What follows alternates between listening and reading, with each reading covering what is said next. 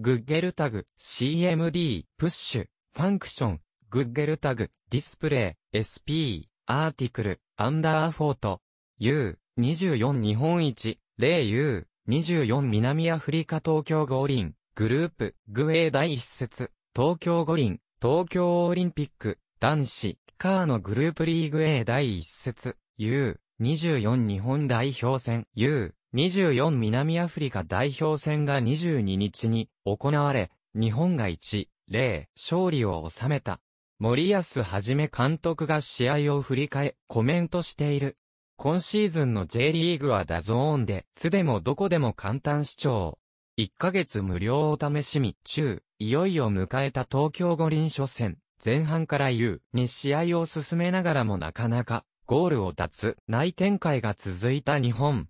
だが71分、エリア右から左足で強烈なシュートを突き刺した久保建英。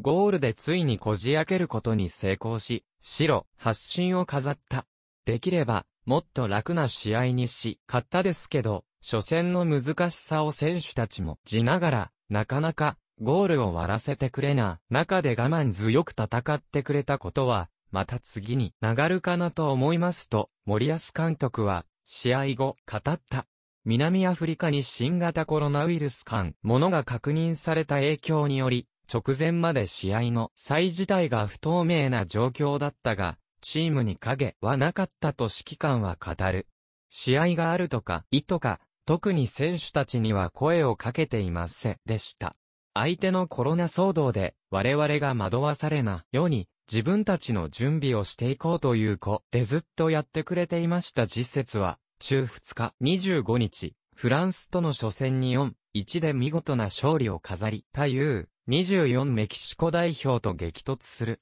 勝ち点3をと第2戦に進めるということは、非常にチームとっても良い形で次につながると思います。また、全の準備をして、選手たちが思い切ってプレできるようにしていきたいと思いますと菅は見通しを示した。両。